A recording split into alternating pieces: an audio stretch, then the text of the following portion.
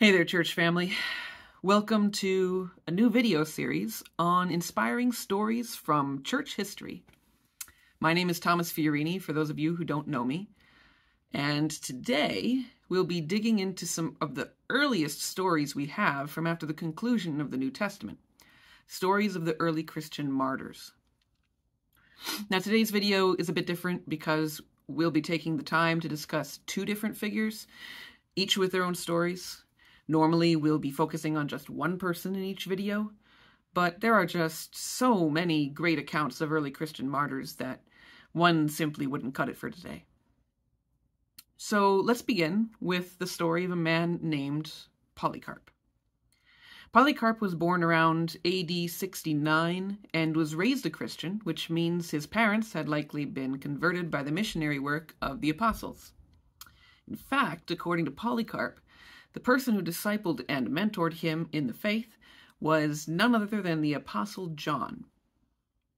As an adult, Polycarp became a key elder of the church at Smyrna, a city in modern day Turkey, which is mentioned by the Apostle John among the seven churches addressed in Revelation, chapters 2 through 3. Many later writers would refer to Polycarp as the Bishop of Smyrna, but this is an anachronistic term, meaning that it's an imposition from the perspective of a later period. In Polycarp's day, the Christian churches were still following the New Testament model of having multiple elders in charge of a single congregation, each with unique responsibilities, and no one person in charge of the whole church or of a district of churches. If churches in a region had a dispute to resolve, they would send representatives from their elders to a council to hash out the issue together. But otherwise, there was no single governing figure. So we have a few records of Polycarp's ministry as an elder of Smyrna. One thing we know he did is journey to Rome, where he tried to settle a dispute with the Western churches over the proper date on which to celebrate Easter. They reached a peaceable agreement where Eastern churches and Western churches would continue to celebrate Easter on different days as before. They decided essentially that it wasn't an issue worth fighting over. Uh, while in Rome, however, Polycarp confronted a well known heretic named Marcion, who was claiming that Jesus Christ had not truly been human and that the Old Testament was not inspired scripture. So, in contrast to his friendly debate with the Roman Church, Polycarp had no patience for someone who was teaching anti Christian lies, and he dismissed Marcion as, in his words, a firstborn son of Satan. Now, we also have a letter which Polycarp wrote to the church in Philippi, in which he cites from the majority of the books of the New Testament and encourages them to live righteously, to maintain unity, and to stay true to the faith, avoiding heresy. Now, when Polycarp was 86 years old, the Roman authorities in Smyrna decided that they had had enough. It's not exactly clear why they had waited until this point, but what we do know is that while the Christians were often disliked by the Romans or viewed with great suspicion, the actual persecution of Christians under Rome was not constant. It came in waves. Certain emperors were more tolerant of Christians, while other emperors made it their agenda to kill as many as possible.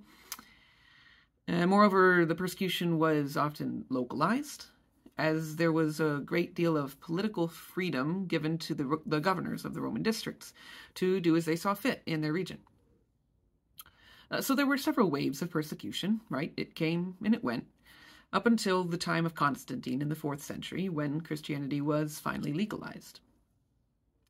So, with that in mind, what we do have are many of the other details surrounding Polycarp's martyrdom.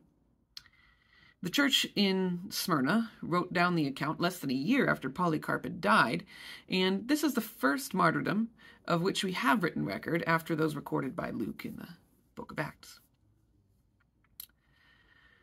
So, at the request of his congregants, Polycarp hid in an estate in the countryside outside of Smyrna, while the Romans searched for him.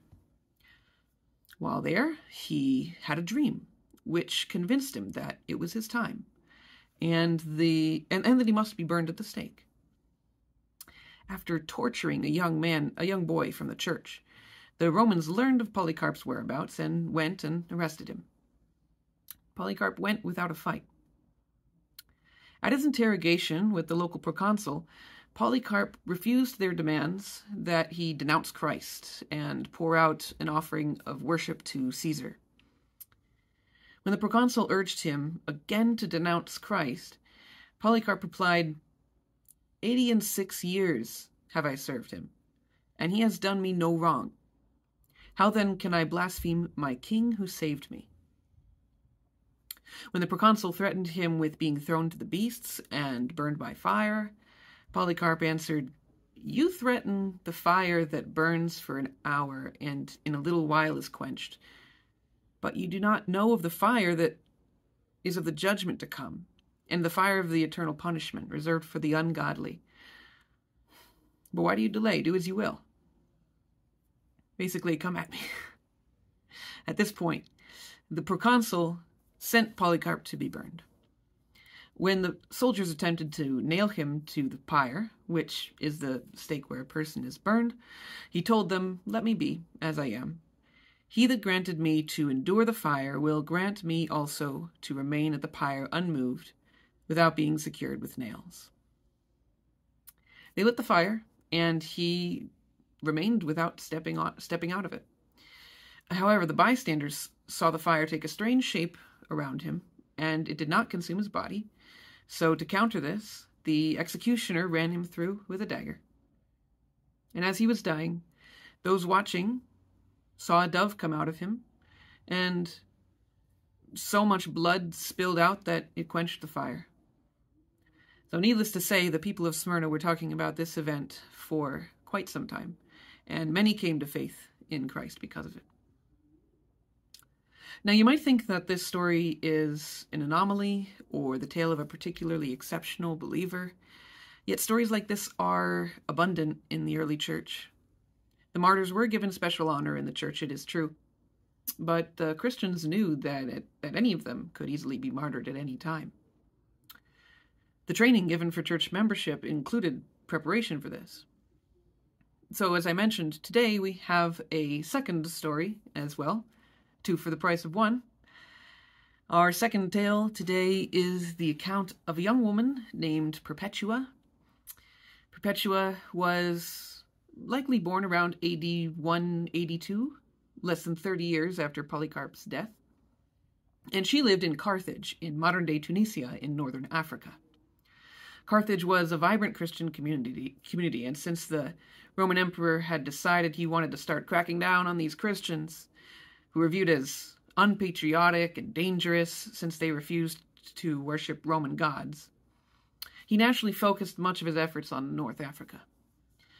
Not much is known of Perpetua's life before her martyrdom, except that she seems to have been a woman of the upper class. And this is not surprising, since not only did the number of women in the early church somewhat exceed the number of men, but many of the women involved were from the upper classes, and many of the men involved were from the lower classes.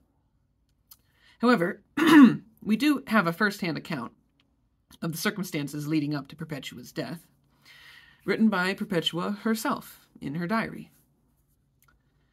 Having been arrested with four other catechumens, which refers to new converts who were preparing to receive baptism, one of whom was her servant Felicity, these five were imprisoned while awaiting their execution. While in the prison, Perpetua records receiving several dreams which with symbolism which instructed her that she was going to die in the upcoming days but that she would be welcomed into heaven and that by her death she would be demonstrating victory over the power of the devil at one point her father who was a pagan visited her in prison and pleaded with her to deny christ so that she'd be set free he pointed out that perpetua was young about 21 or 22 years old and that her family loved her, and that she had a young son at home whom she was still nursing.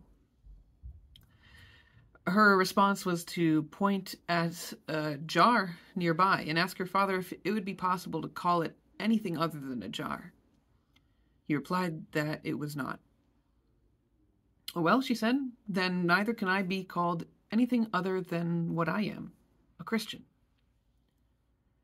When he visited her again to plead with her yet another time, she responded that she was in God's hands and that all would be done according to his will. Later, during her trial, her father burst into the courtroom and started pleading with her one more time to deny being a Christian, but she refused. At this point, the Roman governor condemned her to death. Excuse me. so they sent her to the arena, along with Felicity and the others, where a crazed cow was released, which proceeded to hit and throw and trample on them. At one point, Perpetua's hair was knocked loose, which was a sign of mourning in their culture, and she quickly tied it up again to show that she was joyfully looking ahead to her reward. The crowd, however, began to grow impatient and called for their deaths. So, restraining the cow, the soldiers approached with swords drawn. Perpetua and Felicity said goodbye to each other with the kiss of peace, and moments later, they were executed there in the arena. These stories of Polycarp and Perpetua have served as a powerful inspiration and encouragement for many believers throughout church history.